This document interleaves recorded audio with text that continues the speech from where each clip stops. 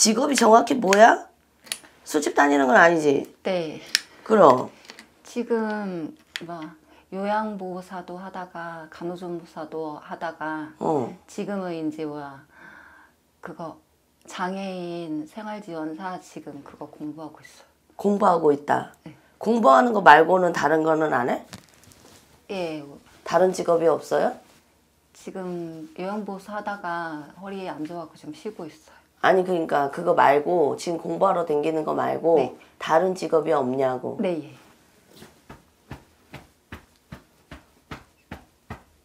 사주가 딱 화류인데? 응? 딱 화류인데? 얼굴이 거의 강수진데? 예. 어? 예, 아니.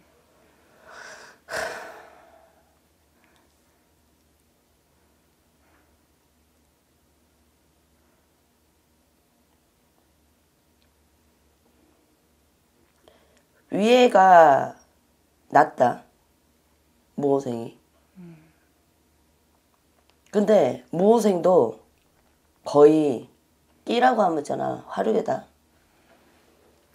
갑인생은 그냥 그냥 그래.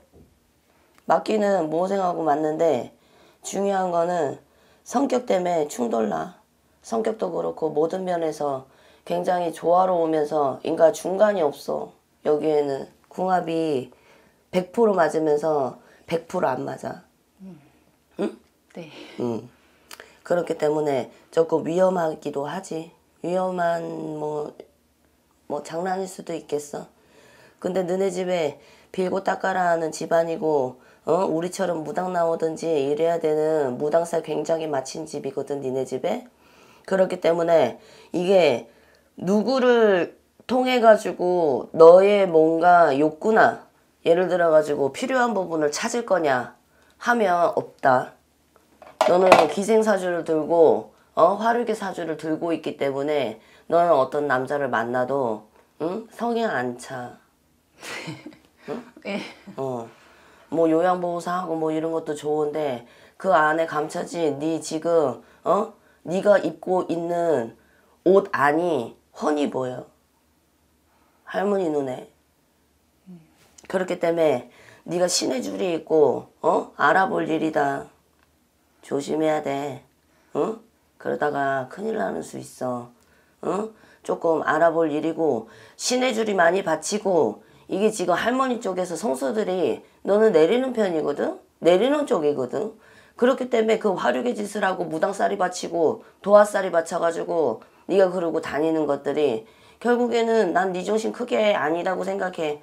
뭘 하더라도 네가 자꾸 다른 길로 가고자 하는 모양인데 네 인생의 반대편과 어? 뭐 만약에 이제 여기가 네가 가야 되는 길이고 여기에는 가지 말아야 될 길일 때 이쪽으로 안 가려고 아주 애를 쓰거든. 네가 팔자를 뒤엎으려고 아주 애를 쓴다고. 그렇게 안 살고 싶어서. 근데 마음대로 안 돼. 자꾸 그쪽으로 땡기고 그쪽으로 가져. 그러니까 사주팔자에 네가 있어. 어? 너희 집에 양반 집안에 무당 나오라는 집안이고, 어? 우리처럼 무당 팔자 굉장히 많아. 많은 사람들, 어? 형제이신이나 누구 부모자도 그렇고, 다 그래. 근데 니는 어차피 있잖아. 겉으로 보기에는, 그래, 예를 들어 가지고, 어, 남, 흰 남방에 청바지를 입었다 치자. 운동화를 신고. 근데 너 그 속에 속옷은 그렇지를 못해. 속옷 자체가 화려하고, 어? 그렇게 돼야 되는 그런 사주팔자란 말이야. 예를 들면. 그러니까 겉보기와 틀리단 말이지. 그랬으니까 본인이 더 잘 알 테고, 어? 근데 나는 괜찮은데 나는 아무렇지도 않은데 옆에서 사람이 자꾸 그렇게 붙어요. 아니거든? 현실 똑바로 얘기해야지. 네가 끼를 부린다는, 어? 있어. 그지? 도화살 때문에.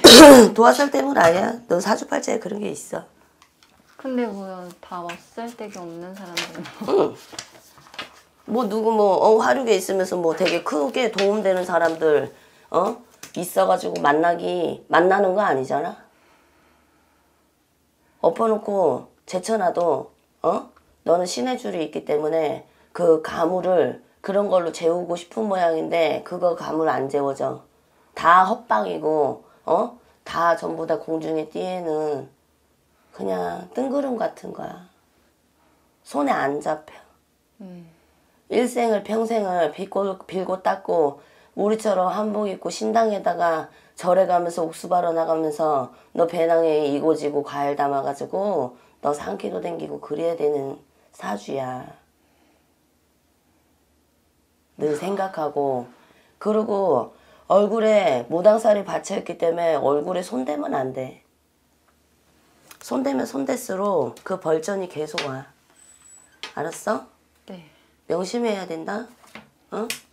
뭐 어디 어디가 네 거예요? 어떤 것만 남았어요? 어? 이런 애들처럼 막 성형하고 막 이런 애들도 있지. 어? 근데 그런 것도 좋은 거 뭐 이제 미의 구- 기준이 있고 이렇지만 그래갖고 뭐 성형을 하고 하는 사람들 뭐 전체적으로 다 그렇다는 건 아닌데 너 같은 얼굴을 가진 사람은 그래. 손대면 안 돼. 손도 대지 말고 어디에 바늘로 찌르고 이런 것도 절대 하면 안 돼. 알았지? 그 웬만하면 머리도 그렇게 길지만 어? 될 수 있으면은 정리해가지고 어? 안 자르면 쪽이 좋아. 머리요. 음. 자꾸 이렇게 기르고 기르고 이러는 게 좋아. 지금도 길기는 긴데 어? 근데 머리가 자꾸 빠지니까 자를까도 생각 중인데 머리 자르면 안 돼. 그러면 저는 이제 뭐야 이제 이사 가려고 하는데 이사 가는 건 괜찮아요? 응. 이사 가는 건 좋은데 북쪽으로 완전히 다 뻗쳤어. 이거 북쪽 피해서 가야 돼. 북쪽이 어디예요? 저는 전라북도 전주 쪽으로 가려고 몰라. 그거 나는 방위는 모르겠고 아, 여기서 보고? 보고 거기서 방위를 보고 어? 그 나침반 같은 거 있잖아. 거기에서 보고 북쪽은 피해. 그게 좋아.